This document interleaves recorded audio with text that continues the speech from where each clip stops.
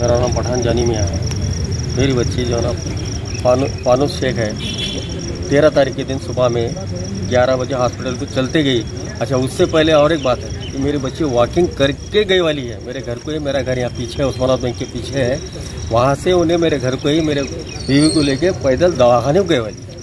कौन से दवाखाने को? हाँ? कौन से दवाखाने सरकारी हॉस्पिटल को गए वाली। तेरह तारीख के दिन हम्म, ग्यारह बजे। जाने के बाद उनको जो है ना ब्लेड लाओ, ये ब्लड टेस्ट करके आओ, बोल के अमर खाने के पास भेज दिए मेरे बीवी को भेजे। बच्ची मेरी अकेली वहाँ बैठे हुई उसके बाद उन्होंने आने के बाद चार बजे डिलीवरी होती होती बोलकर चार, साढ़े चार बजे तक बिठाया उन्होंने। साढ़े चार बजे मैं, मेरी होटल है बिदर गेट को कोइनूर होटल है। मैं खाना खाने के लिए घर को आता तो मैं चार बजे। मैं जब आया, मैं घर में पूछने के बाद मेरे को बोले कि, मैं पूछा भाई कैसा हुआ? तो नहीं ऐसा ऐसा अभी होने वाली है। तो उतने में मैं खाना खा रहा हूँ तो मेरे बच्चे फ़ोन आया कि, और ऐसा ऐसा डिलीवरी को ले गई। ठीक है चलो अच्छी बात है बोला। बैठ के मैं बैठ गया खाना भी मेरा खाने में खत्म हुआ तो डिलीवरी हुई बोल के मेरे को कॉल आया। क्या हुआ तो लड़की हुई। चलो ठीक है चलो मैं खाना खा के मैं होटल को चले गया। होटल को जाने के बाद छः साढ़े छः बजे मेरे को फ़ोन आया कि ऐसा ऐसा बच्ची को जो है ना लातूर को लेके जाने का। फिर मैं भागते आया मेरी बच्ची बात कर रही है और ब्लेड पूरा जा रहा है। पूरा सर के नीचे उसका ब्लेड है मेरे को बात कर रही है तो डॉक्टर ने क्या बोले कि भाई इसका जो है ना ब्लेड नहीं रुक रहा बोले। तो ब्लेड अब मेरे उदगीर के बच्चों ने इतने हेल्प करके जाके एक एक मिनट को ब्लड को पॉकेट ला रही थी। देने के बाद भी नहीं रुका। तो अब उन्होंने क्या बोले कि बोले, अब ऑप्शन एक ही है बोले, बच्चेदानी निकाले। हालाँकि बच्चेदानी निकाले का मसला क्या- क्यों होगा मेरी बच्ची जो है ना, पहले दो डिलीवरी हुई वाली है, तीसरी डिलीवरी भी हुई वाली है नॉर्मल डिलीवरी है। तो बच्चेदानी निकालने का सवाल कैसा आता तो बच्चेदानी निकालने का वो मसला क्या है? तो यहाँ पे गड़बड़ी हुई वाली है। तो ब्लेड नहीं रुकने के बावजूद उन्होंने क्या किया? आखिरी वो बच्चेदानी निकाले।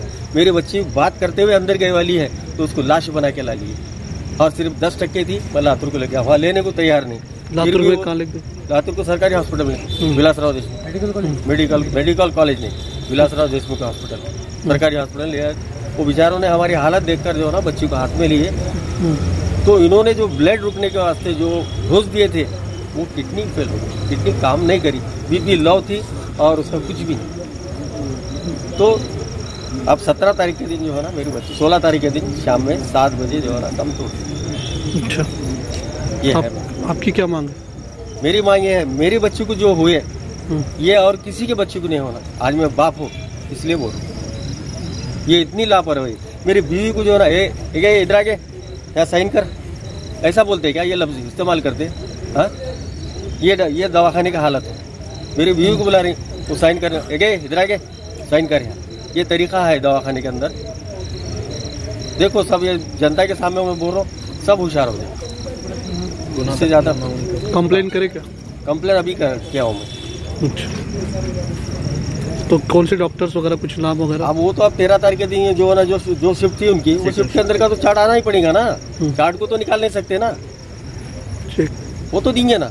मेरी हेल्थ का गुना दाखिल होना उन पर ये मांग है। हाँ उन पर गुना दाखिल होना और मेरी मांग।